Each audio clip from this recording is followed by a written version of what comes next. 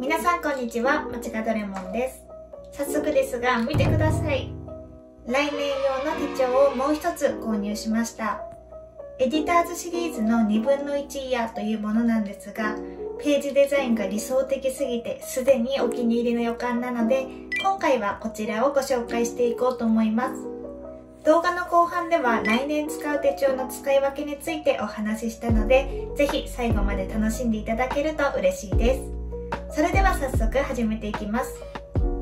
そもそももう一つ手帳を購入した目的は、アイデアとかイラストとか何でも自由に書ける手帳が欲しいなと思ったからです。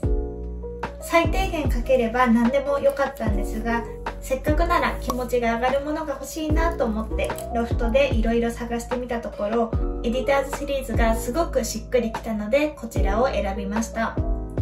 カバーを外すとこんな感じですちなみに私が行ったロフトではカラー展開が3色くらいしかなかったんですが Amazon だと7色展開あったのですごく緑と迷って結果黄色を購入しました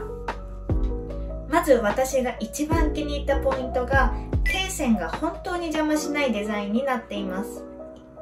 1マス縦横 4mm4mm になっているんですが結構薄めのグレーでとても細い線なので全てグリッドになっていても鬱陶しさが全然ないんですよね。イラストやラフも描きたかったのでグリッドありのものを中心に探していたんですがこの邪魔しなさっていうのは他の手帳でもなかなかなくて唯一無二な感じがしています。続いてこの薄さもすごく気に入っています。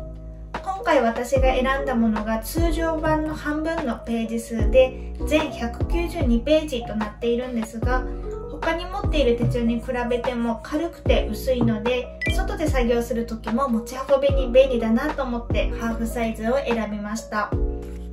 紙自体もすごく薄いので裏抜けが心配だったんですがインクのにじみとかはマーカーでもほぼなくてどのペンでも付けがあるくらいだったので問題なく使えそうです。あと紙の薄さが関係しているのかちょっとわからないんですがペラペラっとめくった感覚が最高に心地いいんですよね。なんか書くのがすごく楽しみになってきちゃいます。そして細やかなデザインも特別感があって気に入っています。日付を書く欄があって正直見にくいっちゃ見にくいんですが月と日付と曜日が線で引けるデザインになっています。ここの説明にはそのページがその日だけの特別な1ページにって書いてあるんですけど確かに後で見返した時に日付がわかるのはありがたいのでこうやってちょっとおしゃれに記入できるのもいいなと思いましたそしてページの左側にはタイムラインが入っていて0から24までの数字が書いてあります私が使用する用途とは異なるんですが、こんな使い方があっても面白いんじゃないかなと思って記入例を書いてみました。ちなみに全然こんな忙しい生活は送ってないんですが、ちょっと憧れも込めて出張っていう体にしてみました。ページを半分に区切って左側に時間軸を活用してバーチカル手帳風に使って右側には ToDo リストやメモ欄を作ればしっかりとしたビジネス手帳としても使えそうです。開きやすさで言うと360度までとは言わないんですが結構開きやすい部類の手帳ではあるかと思います。ただ MD ノートよりかは劣るかなという感覚です。これから使用するところではあるんですがかなり好きになる手帳の予感がしていてこれから使うのがすごく楽しみです。は超自由にする予定なので乱雑すぎて中身を見せる機会はなかなかないと思うんですがまた使い終わったらどこかの機会で感想をお伝えできればなと思います。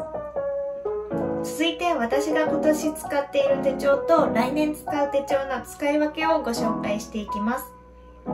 画像で一覧にしてみたんですが家計簿を含め今年も来年も計4冊の手帳を使用していく予定です同じもので言うと家計簿と MD ノートはまだまだページが残っているし書く内容も変わりそうにないのでこのまま継続して使用していきます。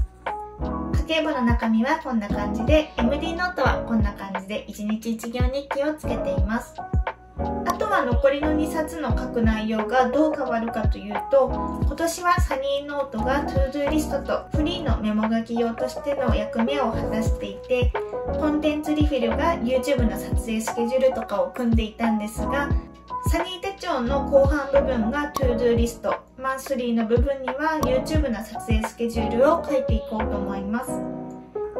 やっぱりサニー手帳は上下に中心線が入っているので真ん中で区切ると ToDo リストとして絶妙にちょうどいいスペースになるんじゃないかなと思っています。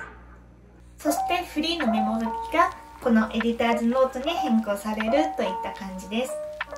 個人的には今年よりもさらにしっくりくる使い分けができる気がしてきてすごく楽しみです。このカラーのバランスも私的にベストでこのセットで常に机の近くに置いておこうと思います。よかったら皆さんの来年の手帳事情もコメント欄で教えてください。それでは最後まで見てくださってありがとうございました。チャンネル登録高評価もお待ちしています。また次の動画でお会いしましょう。バイバーイ。